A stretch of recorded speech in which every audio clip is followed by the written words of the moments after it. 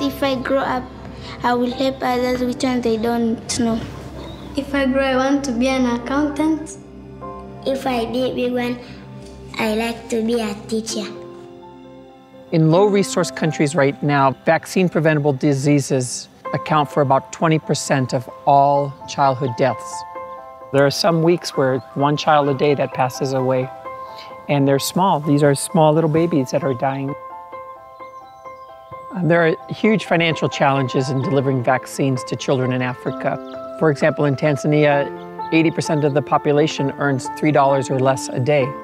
How can you ever afford a vaccine uh, when your daily income is only 2 or $3? This is a situation where you can actually help.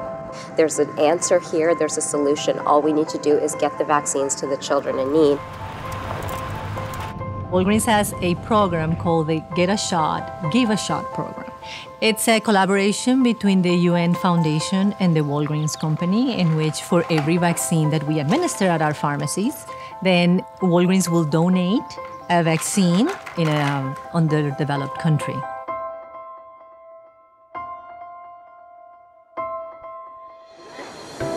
We're here in Tanzania to see firsthand and the impact that it has how much help can we do? We can't help a lot with treating diseases that people already have. So our best shot is to prevent people from getting diseases. And so vaccines are a very important uh, part of that. And so in two minutes, I can provide healthcare to that patient that's gonna last them the rest of their life.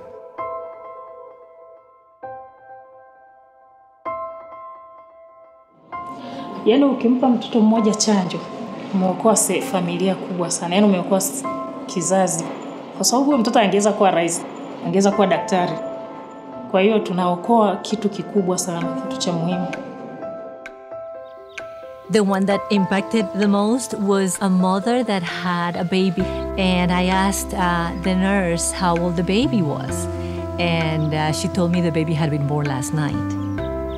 We get that not even one day old baby the measles and the polio, then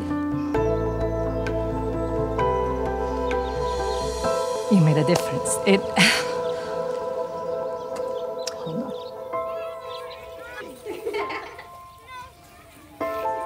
Programs like Get a Shot, Give a Shot, it brings life to this country. It brings chances to live when we're vaccinating a child inside of you you know what you're providing to this child. You're providing an opportunity. An opportunity. So it's not an if i will grow up it's an i will grow up. When i grow up i want to be a lawyer. When i grow up i like to be an accountant or a singer when i grow up i want to be a doctor